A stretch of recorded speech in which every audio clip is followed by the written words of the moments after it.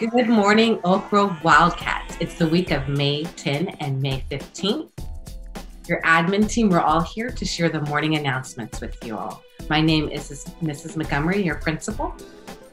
And I'm Mr. Ramirez, one of the vice principals. Ms. Hernandez, one of your vice principals, too. And Dr. Macalino, your instructional specialist. Okay, Wildcats, let's go ahead and show we are united and say the Pledge of Allegiance together. You may take a knee, you may stand. Let's place our right hand over our heart and let's begin. I pledge of allegiance to the flag of the United States of America and to the republic for which it stands, one nation under God, indivisible, with liberty and justice for all. Thank you. Thank you, Mrs. Montgomery.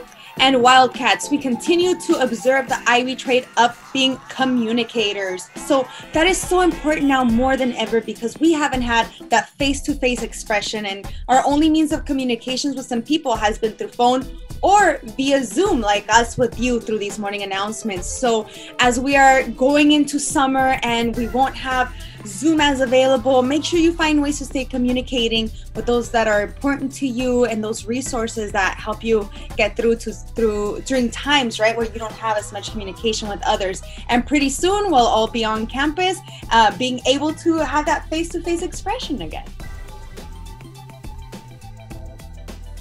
And also coming up for the end of the school year for DLI for sixth and seventh grade. Um, so you just learned about Cinco de Mayo last Wednesday, and coming up th- today, this Wednesday, you are going to be learning about Asian American Pacific Islander Heritage Month. So learn about some influ- influential, sorry, um, Asian American and Pacific Islanders in the United States and their contribution to our country.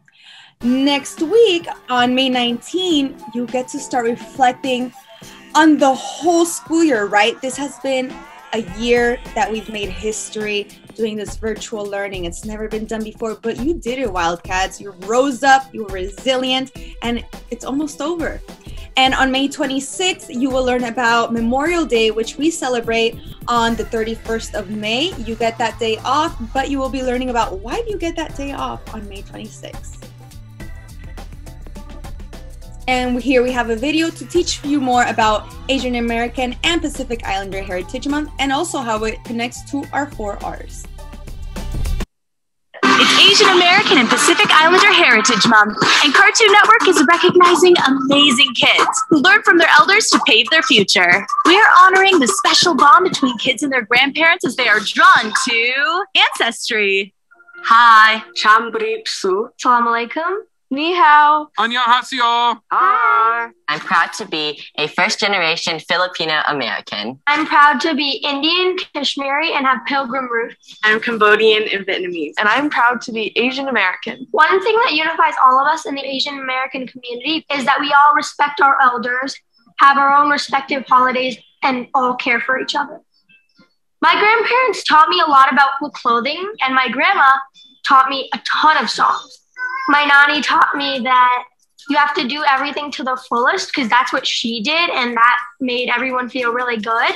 They love me and my cousins in a way i don't think anyone else loves like. Her laugh was just the best. I was born in the province of chongqing china. My chinese name is su shuang and it means strong and beautiful my grandparents and my parents, when they went to adopt me, got 18 gifts. And each year they'll give me a gift from China. It is hard sometimes to try to fit in or feel like you belong. So in high school, I'm in diversity club, and it's really cool because in a predominantly white school, it's nice to feel like I'm not alone. The culture and the traditions are so delicate and there might be a lot that especially elders in the asian community have to offer. My grandparents and parents taught me to enjoy the moment and to keep my asian part of myself alive but also to feel like you can be different and you can try new things and just to live a really happy life being asian american respecting elders is very important because they have lived longer than you and they might have more intelligence They teach me so much. Like, I still try to cook some traditional dishes with my grandmother. What amazes me is a lot of people get all this food from restaurants, and we made that when we came from like nothing. My mom told me that my great grandfather used to make his own chess pieces with his hands, and that really inspires me because I like pottery, I like to write, I like to draw. One thing I would definitely want my grandparents to know is like how much I thank them. Love you, Ta. And I love that. I really have a lot of my culture in me that I didn't know I had. Respecting your elders is important in the Filipino culture because they are the leaders of the family. They have all equally gone through the hardships, but they have never given up. They've always worked hard and they've always had dedication. Something interesting my grandparents have taught me about my culture is that dance and music have brought people together. And after seeing them dancing, I wanted to dance. I thank them and appreciate them for their constant love and support. And I wouldn't be the person I am today without them. I love you, honey. Love you. Love you too. I stand for love. I stand for unity. I stand for respect. I stand for peace. Keep searching for what you're drawn to. Happy Asian American Pacific Islander Heritage Month.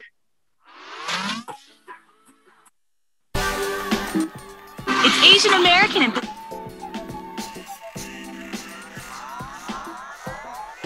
Thank you, Ms. Hernandez, for sharing that touching video. Well, eighth grade Wildcats, Wednesday, May 19 is a big day. Okay, why? Because your eighth grade project is due. Once again, Wednesday, May 19, 9 a.m. And as you can see, we have two choices here. We have uh, the service learning project that we started two weeks ago, and then last week, your teacher, your DLI eighth grade teacher, talked about the eighth grade reflection project. So that was the alternative assignment just in case you were not able to complete the service learning project. We will talk more about that um, at our mandatory um, assembly that's going to happen at 9:45 today. So definitely stay tuned. So I mean, once again, you know, I just want to send a shout out to our eighth grade students who decided to go through with um, the the original service learning project. And so, um, Ms. Hernandez, did you want to just quickly um, say a little bit about this once again? Yes, don't forget to bring in some donations to campus um, for towels, blankets, any kind of pet supplies that you have, new or used, uh, for to for our eighth grade project to support. I think there's also your student too. Yes, thank you. We also have a food drive. I have some things in my box that, that have been coming in, but you know the Concord community could use more. So bring in your cans and non-perishable to support eighth grade food drive. And finally, do you need anything teachers or students translated from English to Spanish or Spanish to English? Don't forget that we have Kevin, eighth grader, supporting with that. So his email is right on the screen, or let me know if you need his email after this video. Um, and he can always help out with any translating needs. And All right. Oh, go ahead. Go ahead. Go ahead. Thank you. Sorry about that. And finally, we have Mr. Jacob Banta, who is also doing a- an animal toy drive. Um, toys, leashes, and collars. Make sure they are new, and we have a beautiful bucket in the front office where you can leave those donations. So once again, I, I, I we I just want to say it again because sometimes you just need to hear it like 50 times in order for to really sit. The project, y'all, it's due next Wednesday, May 19, 9 a.m. We will talk more about this in depth during your DLI class with your DLI teacher, and for sure today during our mandatory eighth grade assembly that starts at 9:45 a.m.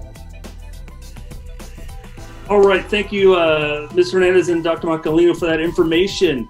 Hey, eighth graders, we do have an assembly. It starts at 9:45. It's going to be very short, but it is about promotion.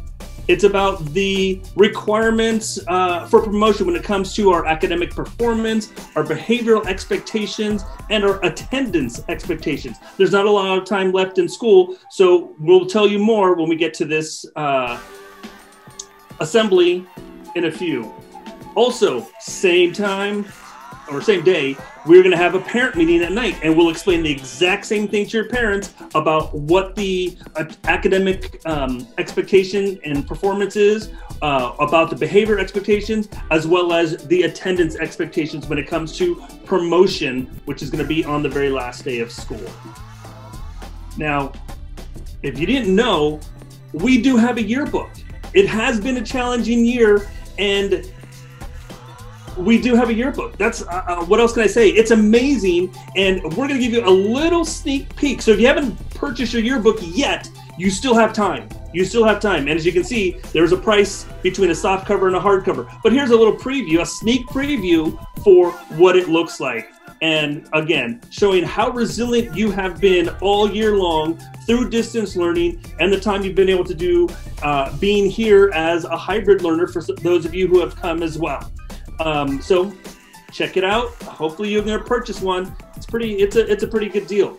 Now, also as we wind up the school year, we still have tutoring support available from our Concord High and our uh, Oak Grove Wildcat leaders. So that is on Wednesdays from 12 to 1. There's only today and one more chance for that.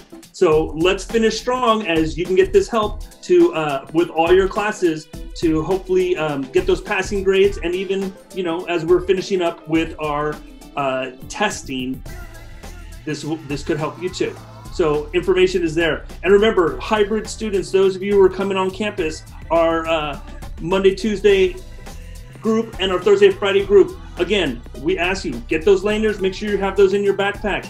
Bring uh, your own water no sharing food but bring your own water and make sure you do the health survey before you come. And when you're here on campus, how do you greet people? Elbow bump, my favorite, tip of the head or tip of the cap, those types of things. Uh, we want to continue to be safe and practice um, our social distancing um, when we're here on campus. So those are just a few of the announcements right now, and I know we're going to head into a little bit of mindfulness that was quite a bit of announcements. We are winding up towards the end of the school year, and communication is so important as we have many events to celebrate you all and to have us return materials. So, and also in honor of communication for this month, we are going to say an affirmation about communication. And remember, let's continue to communicate positively to ourselves with the thoughts we say. So, communication, the title is Communication Affirmations by Affirm Your Life. Every day I practice listening to others. Every day I practice understanding another person's point of view. Every day I try my best to actively listen to what others say without interrupting them. Every day, I try my best to be mindful to allow others to freely express their viewpoints. Uh, that was a great reminder to communicate, but also communicating also means listening to others. So, thank you, Wildcats you um, let's remember that we are respectful um, responsible resilient and risk takers. You all have been so resilient with the test taking. We've never done that before testing online. So thank you so much teachers and students for being resilient and have a fabulous week. Bye wildcats. And don't forget to like comment and subscribe. Have a great rest of your week. Right Good luck with math testing this week. You've got this.